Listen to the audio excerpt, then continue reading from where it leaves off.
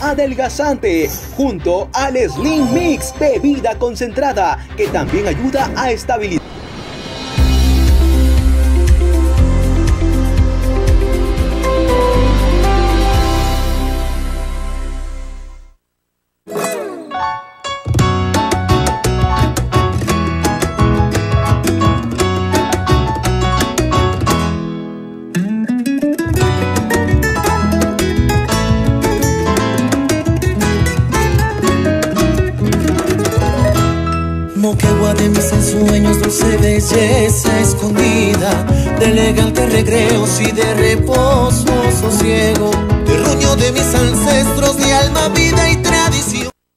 Señora, póngase bien la mascarilla.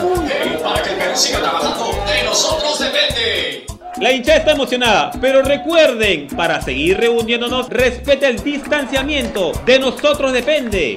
¿Tú ya te has vacunado? No, ¿para qué? Hey chicos, para seguir estudiando de nosotros depende. Y para llegar sanos a nuestro destino, de nosotros depende. Que la COVID-19 no detenga nuestras vidas. De nosotros depende. Ministerio de Salud, siempre con el pueblo.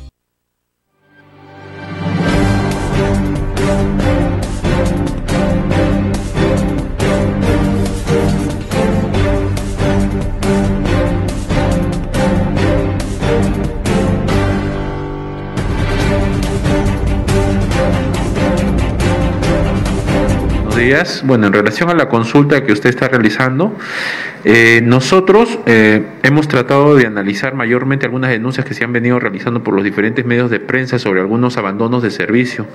Sobre ello tenemos que aclarar, por ejemplo, sobre la ruta 33, más conocida como el Arbolito, el tema de la restricción detrás del Cruz del Siglo, este, esta asociación que viene en este momento siendo intervenida por un proyecto de inversión por parte de la municipalidad, ha generado restricciones en el tramo de vía. En ese entender, eh, también hay que echar eh, mea culpa en relación a ello, ya que el residente no ha comunicado. En ese caso, no hemos tenido un diálogo o una comunicación para poder establecer a la población a través de los diferentes medios de prensa, pero comprendemos que ha hecho coordinaciones directas con la asociación donde eh, se ha restringido la accesibilidad de unidades vehiculares debido a que se están haciendo trabajos de mejora en la infraestructura vial de esta asociación. Sobre otros aspectos en los cuales se están restringiendo, la gran mayoría de restricciones y modificaciones de recorridos que se están haciendo son en base a los proyectos de inversión que se están ejecutando por parte de la municipalidad. En el caso de San Antonio sabemos que hay tres proyectos grandes que están interviniendo, que es el proyecto de drenaje, que es el proyecto que viene interviniendo la avenida Santa Fortunata y el proyecto que también viene interviniendo una vía que es muy grande, que es la vía San Antonio Norte. En ese entender, eh, solicitarle a la población, estamos tratando de establecer eh, vías auxiliares para tratar de garantizar de que el servicio de transporte público se mantenga. Eh, comprendemos las molestias que se pueden generar, pero también comprendamos que estas vías van a generar una nueva, una nueva cara a la ciudad en relación justamente a un cambio estructural que por años no se ha venido realizando. Ejemplo es la Avenida Ejército, la interconexión vial, la Manuel Camilo La Torre, la Balta y ahora los tramos ampliatorios que son la calle Andrés Avelino Cáceres, la Avenida 25 de Noviembre, así como también la prolongación Amazonas. En ese entender, solicitar a la población, vamos a estar eh, reforzando este tema de la comunicación. Eh, para poder evitar cualquier tipo de complicación. Hemos también tratado de prever, hemos modificado nuestras acciones de control tratando de priorizar operativos en las mañanas para evitar el abandono de escolares, un tema que también hemos escuchado en algunos medios de prensa. Lo que estamos buscando es tratar de garantizar que el servicio de transporte público en horarios en donde se necesita mayor cantidad de unidades vehiculares para trasladar a los, a los escolares, estas se satisfagan y prioricemos a los escolares durante el, la demanda o la oferta de este servicio de transporte público, de todas las eh, vías en las cuales se vienen eh, realizando acciones en forma conjunta para tratar de garantizar de que esto se venga cumpliendo.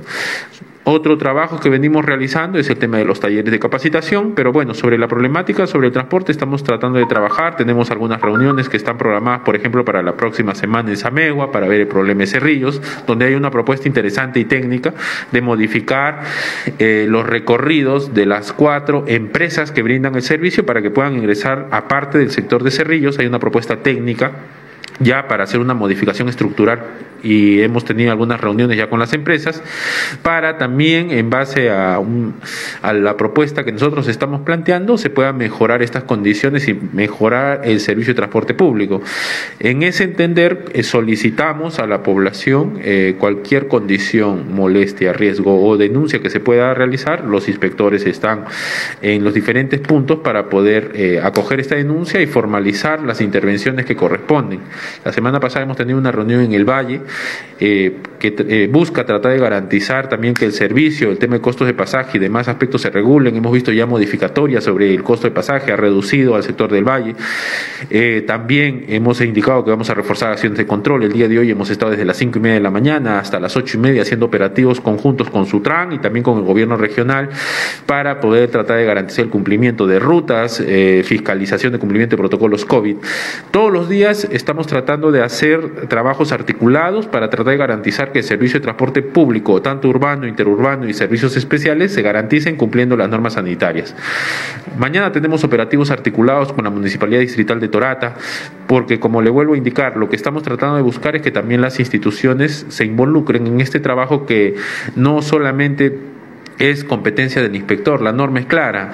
Nosotros podemos fiscalizar de campo con inspectores, pero de gabinete, ante cualquier denuncia de cualquier persona, podemos iniciar un procedimiento sancionador siempre y cuando se tengan los medios probatorios, al menos la placa para poder detectar al vehículo infractor. En ese entender, el trabajo que estamos realizando desde la sugerencia de transportes es un trabajo más articulado y tratando de tener una mayor cercanía hacia la población y si es que tenemos un problema, tratamos en cierta manera de forma inmediata convocar una reunión y abordarlo técnicamente con los diferentes áreas para tratar de buscar una solución y plantearla. Y bajo ese contexto es que es el modelo de trabajo que eh, nuestro señor alcalde también ha dispuesto a todas las unidades orgánicas. ¿no? Ingeniero, con respecto a la propuesta técnica que usted está indicando para el sector de Cerrillos, ¿de qué estaríamos hablando? ¿Va, ¿Se va a incrementar de repente las unidades móviles o cuál es la propuesta que se estaría dando? Mira, nosotros lo que estamos tratando de realizar primeramente a nivel normativo, porque aquí el transporte eh, está regulado en base a un reglamento nacional.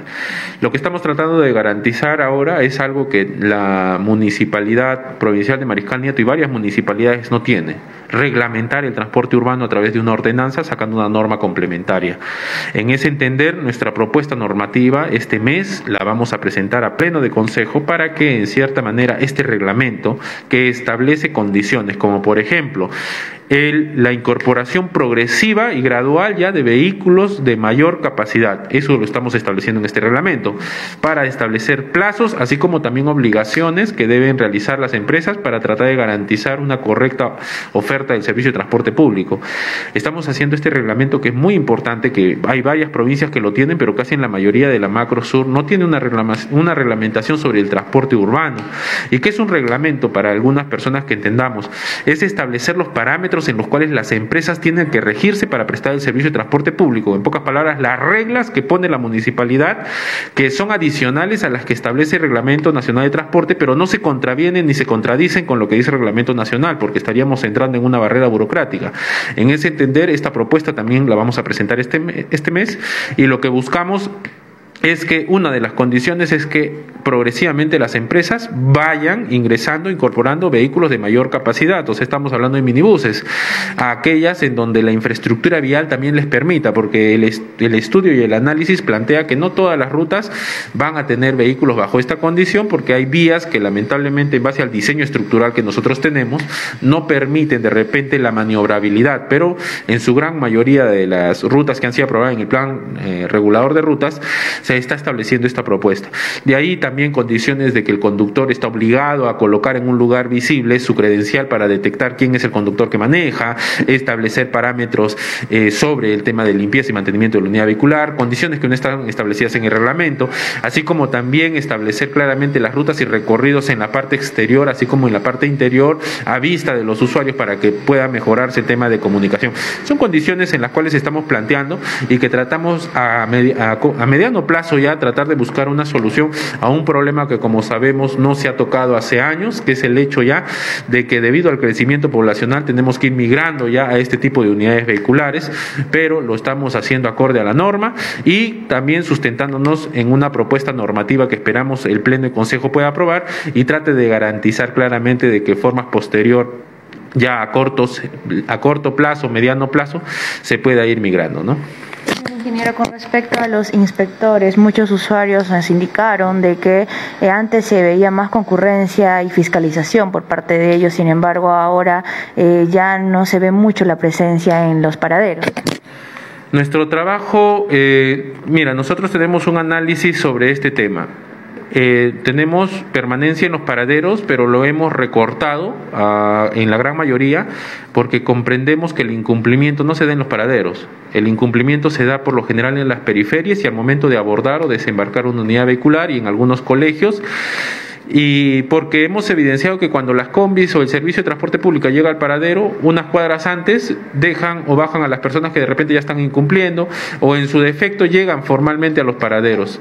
En ese entender lo que estamos tratando de garantizar con este nuevo modelo de fiscalización es hemos creado dos equipos de fiscalización, tenemos constantes operativos desde esta semana, desde el día lunes hemos arrancado a realizar dos operativos en la mañana y dos operativos en las tardes, tratando de coberturar el servicio de transporte interurbano, cumplimiento de protocolos COVID, incumplimiento de recorridos, identificando también zonas críticas. Sabemos que, por ejemplo, en, a partir de las 5, 5 y media de la tarde, en el sector de, de, la Dirección Regional de Salud, están acostumbrados algunas empresas a abandonar. Hemos puesto un inspector ahí.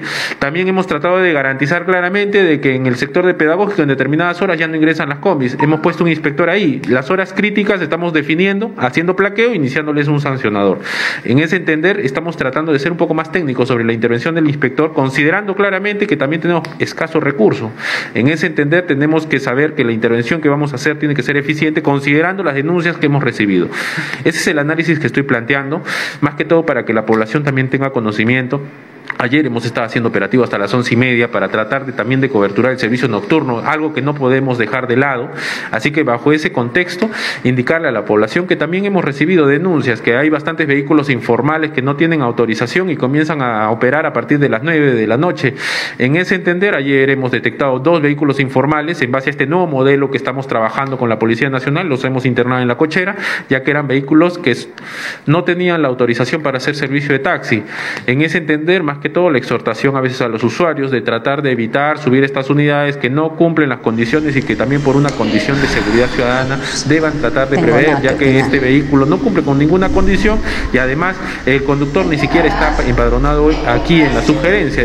Bien amigos, vamos a ir con más información desde el 19 al 22 de mayo se estará realizando el segundo Festival Nacional de Teatro 2022 denominado Moquegua en Escena. Conversamos con Frank Flores, responsable del área de Industria, Artes e Interculturalidad.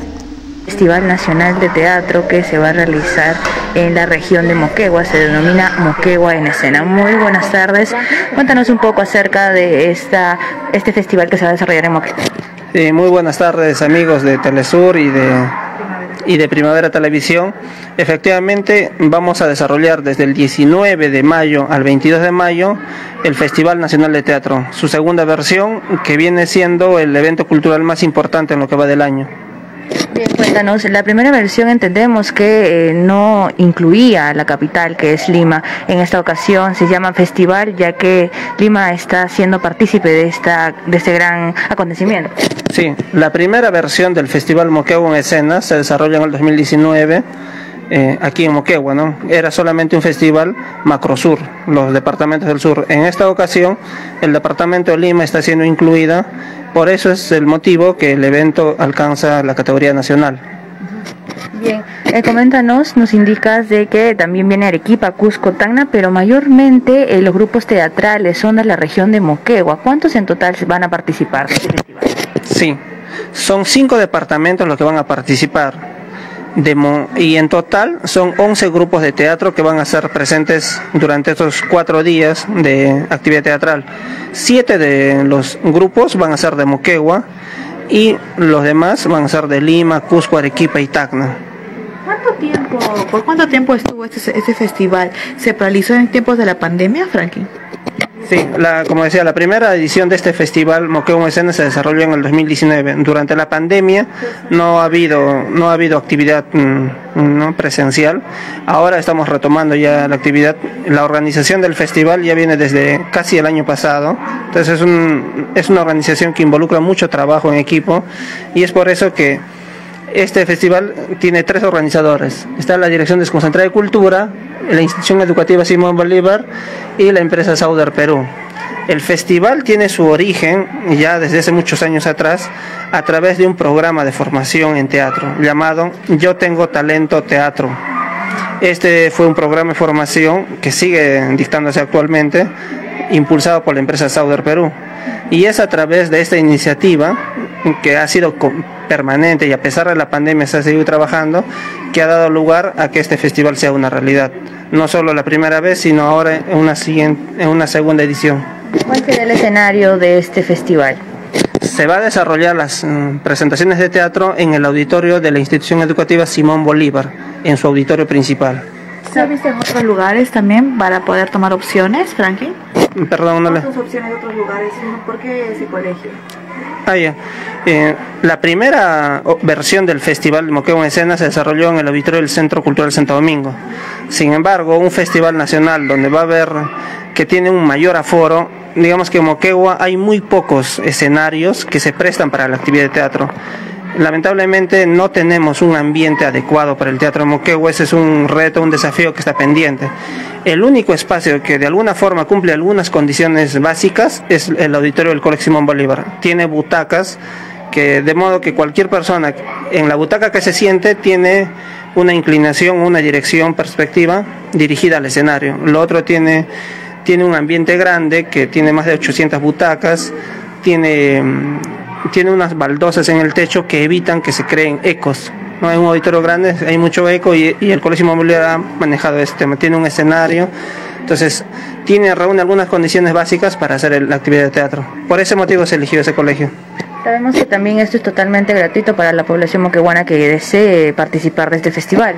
Sí, la actividad, eh, la participación es totalmente gratuita, está dirigido a niños, adultos, padres de familia, jóvenes, a toda la población. Eh, actualmente, sin embargo, para la participación se va a necesitar una entrada.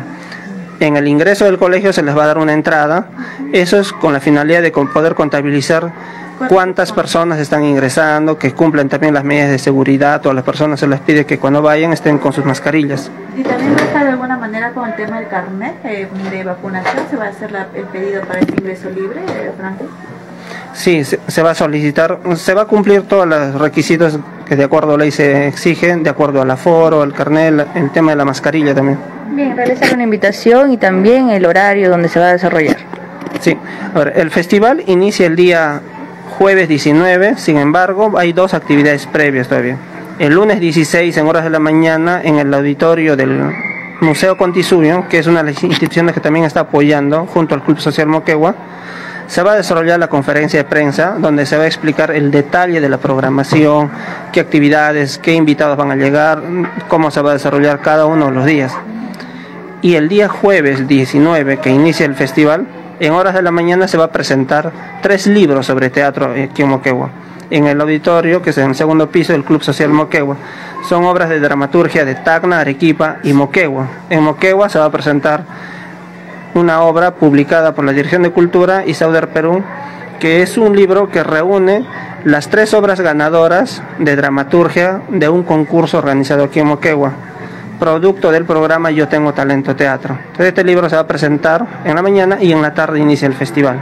Entonces, luego del inicio del festival, también va a haber actividades paralelas sobre formación de nuevos actores y periodismo cultural, que se va a desarrollar el sábado y el domingo en la mañana, en tres lugares distintos, ¿no? en el Museo Contisuyo, en la Dirección de Cultura y en el Club Social todo el detalle, toda la programación de las actividades, los horarios, los responsables y la modalidad de participación se van a explicar en la conferencia de prensa este lunes 16 en el Museo Contisuyo. Bien, muchísimas gracias. Entonces Frankie Flores, él es el responsable del área de artes culturales de la Dirección Desconcentrada de Cultura, donde este importante Festival Nacional de Teatro se va a llevar a cabo aquí en la región de Moquegua. Es la segunda versión, ya que como nos acaban de indicar, la primera versión solo era Macro Sur, donde pertenecía Arequipa, Cusco, Tacna y Moquegua. Ahora es un festival, ya que la ciudad de Lima también es parte de este Festival Nacional de Teatro. Nosotros vamos a retornar más adelante con más información.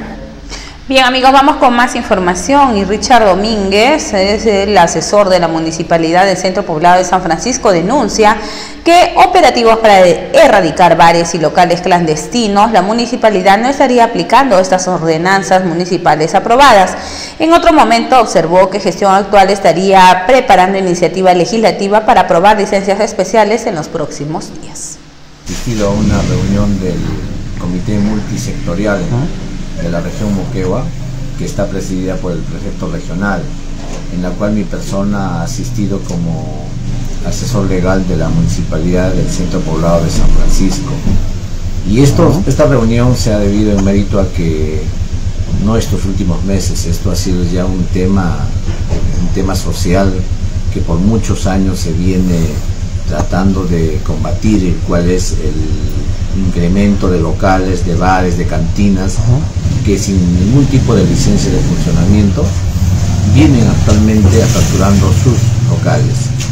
Eh, esto se ha recrudecido, ha sido un tema que me ha enfocado el alcalde, el señor Alejandro Mendoza, y hemos encontrado algunas falencias que necesariamente se tienen que poner en consideración de las autoridades, porque si no hay un compromiso de todas las autoridades, en este caso policía, ministerio público, prefectura, y demás entes, incluido la provincial, mm, esto no va a culminarse, no se va a llegar a erradicar y cerrar esos locales que hay en la Avenida La Paz, en la Avenida 28 de Julio, en la Avenida Ejército, en el caso concreto del Centro Poblado de San Francisco. ¿no? Bueno, el tema es que em, eh, se hacen los operativos, pero al día siguiente o a las horas están nuevamente aperturados. Entonces, ¿qué es lo que pasa aquí? Yo recuerdo muy bien que nosotros cuando tuve la oportunidad de ser autoridad en la municipalidad provincial, justamente nosotros emitimos una ordenanza municipal, la 017-2016, en donde se señala el procedimiento para la clausura temporal o definitiva de estos establecimientos que no cuentan licencia de funcionamiento. Esta ordenanza, eh, como lo vuelvo a indicar, se aprobó en Consejo Municipal y se delegó a los centros menores para que ellos puedan aplicar ah. este procedimiento y cerrar estos locales. Entonces, al asumir ya la asesoría legal del Centro Poblado de San Francisco, está, hemos pedido esta reunión para que se comprometan las autoridades de que no solamente haga un cierre por unas horas, sino que sea un cierre definitivo, ¿no?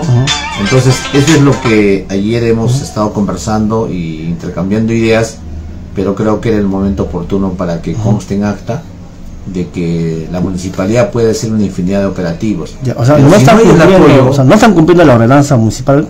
De hay un procedimiento del cierre de locales, mm. pero la municipalidad está cumpliendo, está cumpliendo el tema de los operativos, de los cierres, pero no hay el apoyo de la Policía Nacional del Perú, no hay el apoyo del Ministerio Público, no hay el apoyo de la municipalidad provincial para que ya no vuelvan a aperturar porque se, hace el operativo, se clausura, se cierra y a las horas están nuevamente aperturando. ¿no? Entonces, este es lo que sea, ojalá que esté consignado en el acta, porque vamos a programar ahora como centro poblado de San Francisco una serie de operativos justamente para poder cerrar estos locales. Es la preocupación del alcalde de San Francisco. Eh, ¿Se están incrementando los bares y cantinas en este sector? Sí, definitivamente, frente al terminal, frente a la comandancia, ah. aquí en el paradero de combis de que van a Chenchen han abundado los locales nocturnos o locales eh, bares y cantinas y no solamente hay memoriales de los vecinos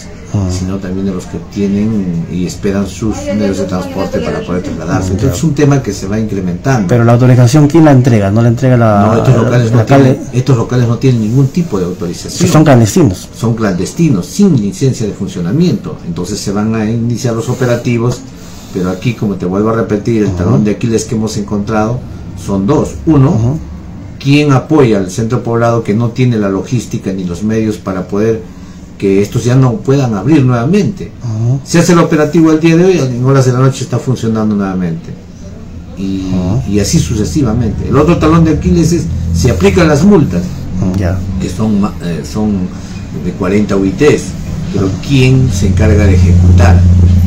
nosotros la municipalidad no tiene un ejecutor coactivo y la municipalidad es quien, provincial es quien tiene que realizar. Entonces lo que se trata, y se ha, se ha dicho las cosas claras el día de ayer, es que si no hay un trabajo armonizado, conjunto de todas las autoridades, este problema va a continuar. ¿Qué respuesta ha tenido por parte del prefecto en esta reunión ayer? Bueno, ellos han indicado, tanto la Policía Nacional con la presencia de un comisario y el fiscal de prevención, que hay toda la intención, incluida la Municipalidad Provincial a través del gerente de servicio de la ciudad, hay la intención de apoyar, de, de erradicar este tema. Bueno, vamos a ver que en la práctica lo, lo, lo ejecuten, ¿no? no solamente quede en el documento, ¿no? porque este es un tema, Cristian, si es que no se hace un trabajo conjunto, no se controla. No vamos a poder controlar, muy por el contrario, vamos a, a, permitir que se siga incrementando. Se han hecho denuncias graves, ¿no? que probablemente eso se tendrá que demostrar que en algunos de estos locales inclusive se ejerce la prostitución y otros delitos, ¿no? que hay menores de edad, pero eso será materia de edad que intervenga el Ministerio Público. ¿no? Así También es. a la Municipalidad Provincial se le ha dicho de algunos locales específicos, el local Estragos 1 y 2, que sigue funcionando, no tiene licencia, pero ¿cómo permiten la Municipalidad Provincial? Entonces es un tema que por lo menos nosotros como Centro Poblado de San Francisco vamos a iniciar con los operativos y vamos a, a ser más drásticos y más radicales para que no vuelvan a aperturar una vez clausurados. Esta observación que usted ha hecho no solamente es para San Francisco, también para toda la provincia, toda la ciudad de Moncloa se viene abundando de estos centros así clandestinos de... Sí, es un tema, como te vuelvo a reiterar, de hace muchos años. ¿no? Eh, se ha hecho denuncias el día de ayer eh, de que hay varios locales en el centro de la ciudad que no tendrían licencias Ujú. y estamos a puertas, eso hay que estar, hay que manejarlo con mucho cuidado de que la municipalidad provincial se va a aprobar un dictamen eh, a través de una ordenanza de otorgamiento de licencias especiales. Hay que tener mucho cuidado aquí. Cuando se Yo- refiere a especiales, ¿qué significa? ese es un tema que habría que preguntarle a la regidora Nelly Araca, quien es la presidenta de la Comisión de Fiscalización, quien es la encargada, quien va a sustentar este dictamen. Pues lo poco que he podido conversar con ella es lo que se pretende dar de manera, eh, con ese nombre, especiales a aquellos locales que de manera temporal o por el, el rubro que tengan se les vaya a otorgar. Entonces, eh, eso hay que tener mucho cuidado porque Ah. esto podría ser una puerta abierta para que se otorguen licencias y entre comillas especiales algunos establecimientos o locales que de repente no tienen las condiciones o de repente el rubro que ellos quieran desenvolverse. No habría que estar atento porque me parece que En esto se va a sustentar en la ¿En su próxima. experiencia como regidor alguna vez se han licencias especiales o no? No, definitivamente lo único que nunca existió. Son li- son licencias este, provisionales o licencias definitivas.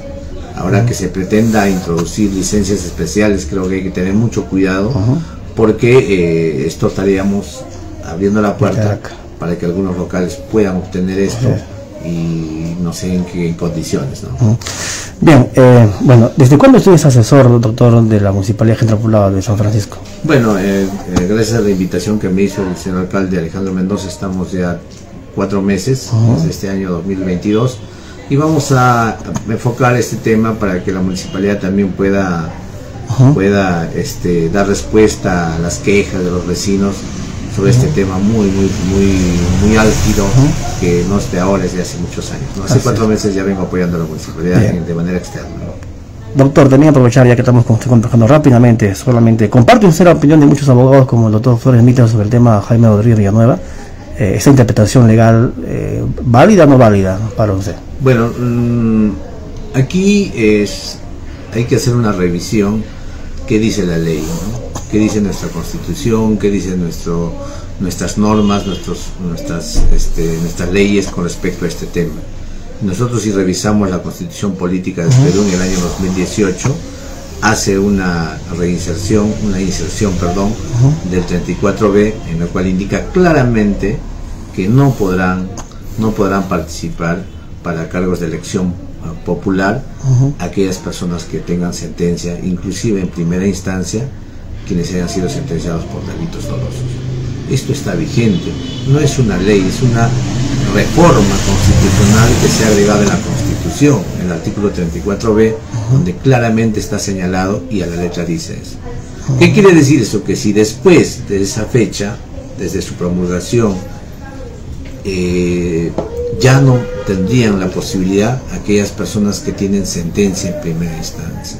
Y en ese aspecto se encuentran muchos candidatos, incluido el señor Jaime Rodríguez, incluido el señor Carrera, incluido otros candidatos que han sido posterior a la dación de esa reforma constitucional, no podrían participar. A pesar de que fue rehabilitado por el Poder Judicial. Como se ha indicado en ningún extremo de, la, de ese referido artículo se hace mención a rehabilitaciones. Solamente habla a aquellos que han sido sentenciados hasta en primera instancia. Como ustedes recordarán, el señor Jaime Rodríguez ha sido sentenciado posterior a esa reforma y además no está solamente en una primera, sino en una segunda, inclusive una confirmatoria por la Corte Suprema hasta una tercera instancia. ¿no? Entonces sí lo alcanza, Desde mi punto de vista, yo siempre lo he sostenido, que su participación va a ser eh, observada en su momento por el jurado electoral especial una vez que formalice su inscripción. ¿Esto cuándo va a ocurrir? Va a ocurrir a partir, eh, bueno, hasta el 15 de junio, fecha límite para la inscripción de las candidaturas y el jurado pues empezará a evaluar las hojas de vida y encontrará esta sentencia y se eh, pronunciará y seguramente lo excluirá del proceso. Bueno, es Bien, vamos amigos con más información. Pausa, me dicen, una pausa comercial y retornamos.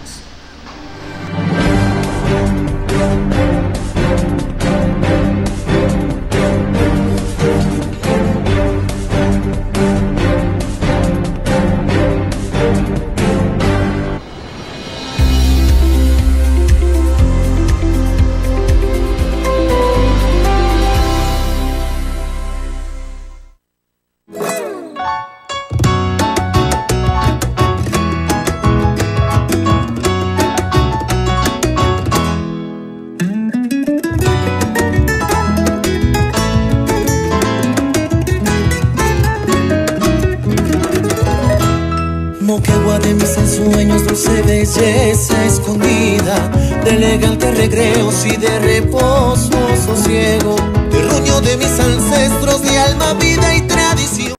Señora, póngase bien la mascarilla. Para que el Perú siga trabajando, de nosotros depende.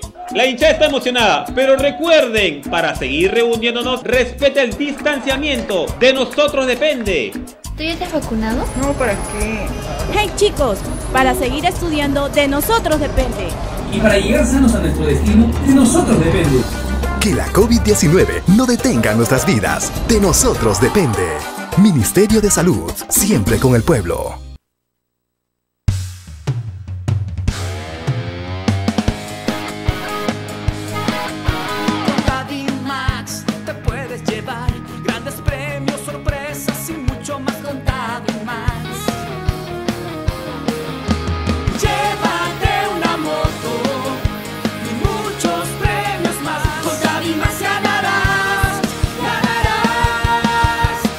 La compra de cada 100 ladrillos Tabimax, reclama un ticket para los sorteos de 10 motos marca Honda Navy y 10 motos marca Honda Dio, 23 bicicletas Trex y miles de premios más. Un ladrillo Tabimax es ideal para divisiones y muros livianos por sus medidas y su peso. Un ladrillo Tabimax no necesita tarrajeo. Un ladrillo Tabimax perdura con el tiempo y hace que tu propiedad se valore y además te pone en onda. Sorteos Tabimax primero de junio y 5 de agosto. Tabimax te pone en onda. Términos y condiciones del sorteo en www.ladrillosmax.com slash sorteo. Sabemos que mamá trabaja todos los días para el bienestar de los suyos. Y hoy más que nunca te acompañamos en tu camino al éxito. Santa Catalina está siempre contigo, mamá. Y por tu día accede a un crédito de hasta 15 mil soles para eso que siempre soñaste. E inmediatamente llévate un premio según el monto desembolsado. Además, participas del sorteo de una cena especial para mamá.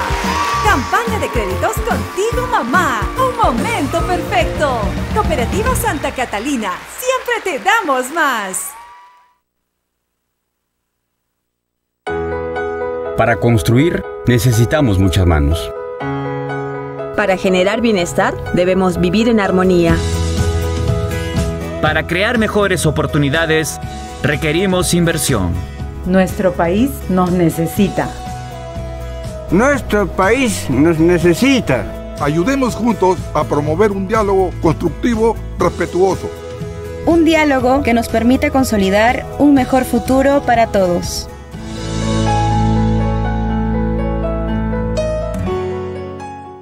Ya llegó la original hormona de crecimiento HGH. HGH 9000 es la verdadera y original hormona de crecimiento que te ayudará a desarrollar de 5 a 15 centímetros. La fórmula más avanzada para desarrollar estatura. No te limites porque tú puedes crecer. HGH 9000 contiene todos los aminoácidos necesarios que tu cuerpo necesita para el desarrollo de estatura. Fui a Nutricenter y me recomendaron el HGH 9000, en cual funcionó al 100%. Encuéntralo solo en Nutricenter.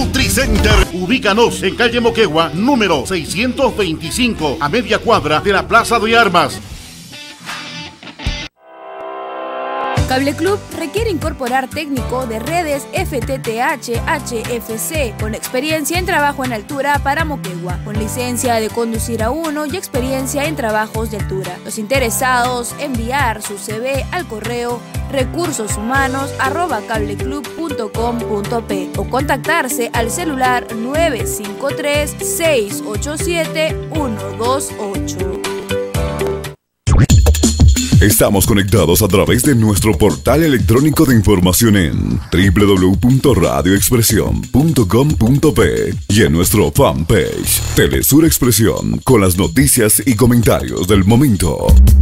Expresión La Radio. Estamos conectados en todo lugar.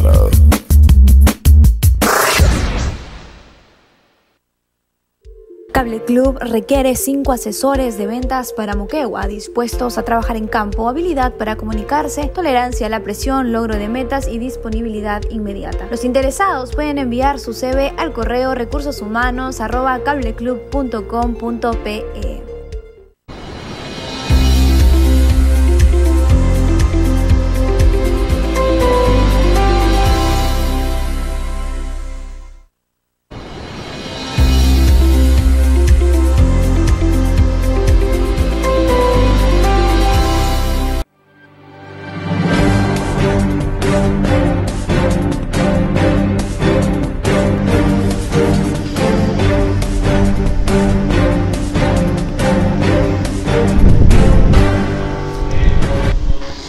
Bien amigos, vamos con más información y peregrinos del Señor de Ayabanca, de Ayabaca llegan hasta Moquegua caminando y tienen como destino final Piura.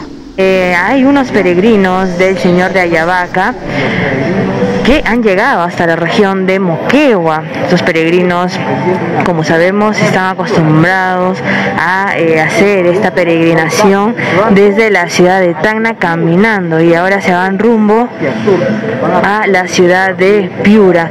De esta manera están realizando esta caminata. Son dos peregrinos que han llegado hasta la región de Moquegua desde, desde Piura, Piura, Lima, Lima, Tacna y Tacna, Moquegua. Son cinco meses de recorrido, es lo que nos han indicado, y asimismo vienen eh, quedándose de pueblo en pueblo para poder recolectar algunas monedas y seguir peregrinando hasta su destino final, que es la ciudad de Piura.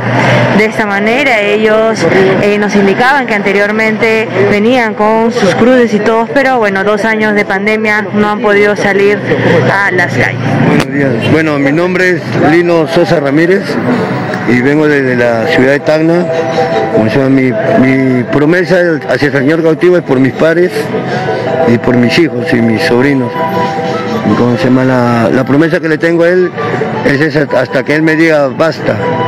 Vengo ya tengo nueve años caminando desde la ciudad de Tacna hasta Ayabaca y y le, doy gracias también a las, a las personas que nos vienen apoyando en el camino, a veces con una botella de agua, un plato de comida, a la Hermandad de Chorrillos, a la agrupación Cristo Cautivo, que pertenece a Piura, a, los hermanos de, al hermano Sandoval, que también nos ha apoyado también acá en Tacna, nos ha comido un, un plato de comida, todo.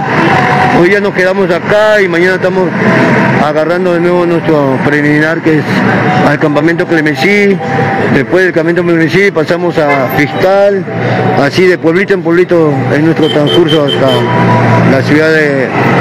Primero la primera meta es Lima, la primera meta es Lima y de ahí Piura, entramos a Paita, a la, fiesta de la Virgen de las Mercedes también, el, el 23 de septiembre. Después descansamos una semana, después de una semana ya salimos rumbo a nuestro Padre Celestial, que es nuestro cautivo de Ayabaca. ¿Cuándo han partido de Tacna, maestro? Hemos partido el 4 de mayo. 4 de mayo. ¿De ¿Cuántos días van caminando? Ya tenemos hoy día, como día- o sea, ayer son 7 días que hemos estado caminando hasta acá, hasta la ciudad de Moquegua. ¿Recién han llegado cuándo hoy día?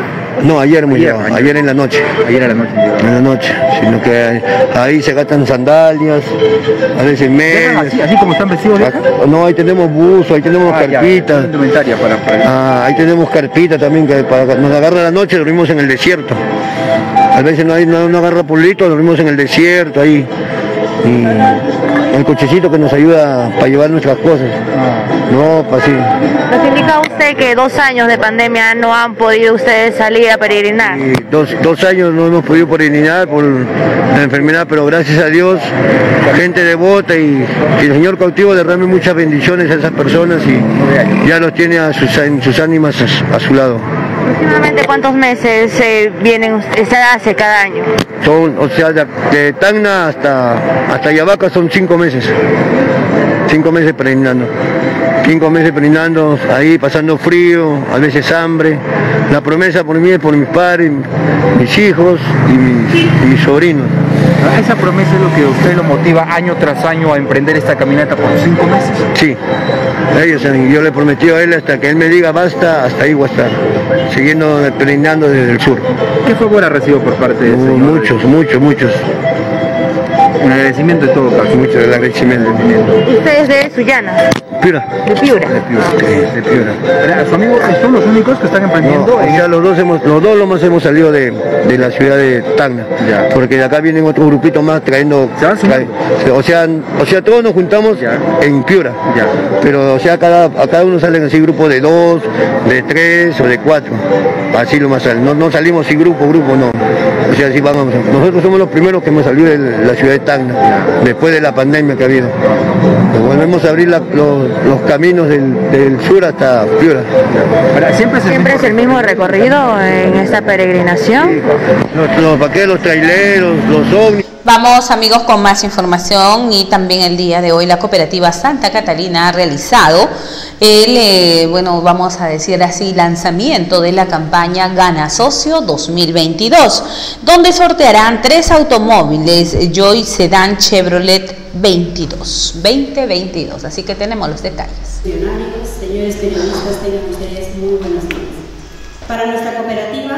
Una gran satisfacción premiar la fidelidad y confianza de todos nuestros socios con este tipo de campañas como es la campaña Gana Socio. Por 13 años venimos premiando a todos los socios de Moquegua, Hilo, Torata, Tacna y Arequipa, donde contamos con una agencia. Tuvimos una pausa, eso es cierto, pero este año 2022 venimos cargados de grandes premios. A través de ustedes, señores periodistas, es que nuestros queridos socios y la comunidad en general se van a poder enterar, se van a poder informar sobre el inicio de esta gran campaña Gana Socio 2022 y de todos sus pormenores. Como vicepresidenta del Consejo de Administración de la Cooperativa Santa Catalina, les doy la más cordial bienvenida a todos ustedes que nos honran el día de hoy con su presencia. Gracias. Muy bien, muchas gracias a la vicepresidenta del Consejo de Administración de la Cooperativa de Crédito Santa Catalina, la abogada Patricia Jacinto Villegas. Invitamos a continuación a la gerente general de la Cooperativa de Crédito Santa Catalina, la señora Flor Rodosky Mancilla, para el lanzamiento oficial de la campaña Gana Socio 2022. Buenos días con todos. Señora Presidenta del Consejo de Administración, señores funcionarios de la Cooperativa de y Crédito Santa Catalina, señores periodistas. Quiero iniciar destacando que nuestra Cooperativa de Ahorro y Crédito Santa Catalina de Moquegua, por motivos de pandemia a consecuencia del COVID-2019, en el año 2021 no realizó la campaña Gana Socio, este año, gracias al trabajo conjunto que desarrollamos con el Consejo de Administración, se aprobó y se programó la campaña Gana Socio. Y el día de hoy estamos reunidos para realizar el lanzamiento oficial de la esperada campaña Gana Socio 2022, que por decimocuarto año busca premiar la fidelidad y confianza de nuestros miles de socios, con el lema Este año volvemos con todo, que sorteará tres modernos automóviles marca Chevrolet, seis Smart TV LED de 55 pulgadas marca LG, 6 refrigeradoras marca LG, 10 equipos de sonido marca LG y 10 freidoras de aire marca Oster. Es preciso indicar que en esta campaña todos los socios ahorristas participan con la apertura de depósitos a plazo fijo por un monto de 500 soles. También por aportes extraordinarios y también por desembolsos de créditos por monto mínimo de 1.500 soles y por las inscripciones de nuevos socios, quienes obtendrán opciones para participar del sorteo de Socio 2022. En instantes, el señor Alex Angulo, coordinador general de la campaña Gana Socio 2022, les dará a conocer las condiciones y restricciones de la campaña. El reglamento interno de la campaña Ganasoso 2022 comprende condiciones, requisitos, restricciones, premios, responsabilidades, vigencia, formalidades y reglas de sorteo, teniendo con la campaña fines de implementar las captaciones de depósitos de ahorro a plazo fijo, capital social, créditos y membresía de nuevos socios de la cooperativa. Este reglamento ya eh, va a estar publicado en la página web de la cooperativa para que todos los socios puedan eh, conocer las condiciones que hoy estaremos dando o que estamos dando a conocer.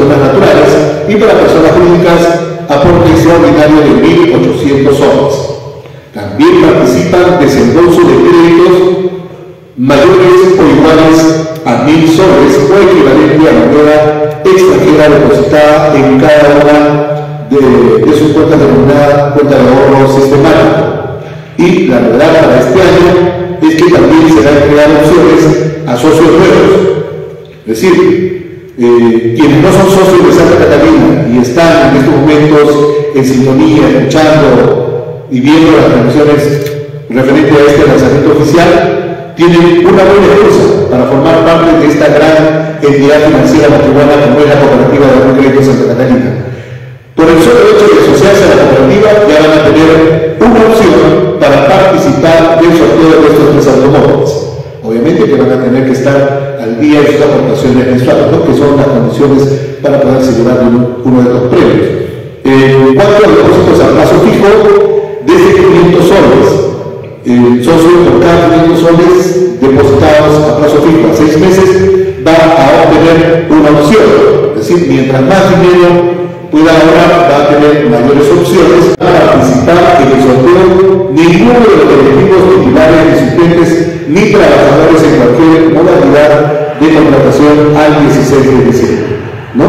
Los directivos son socios de la cooperativa, ¿no? pero eh, por un tema de imagen ellos no participan del sector a pesar de que realicen las operaciones que hemos mencionado.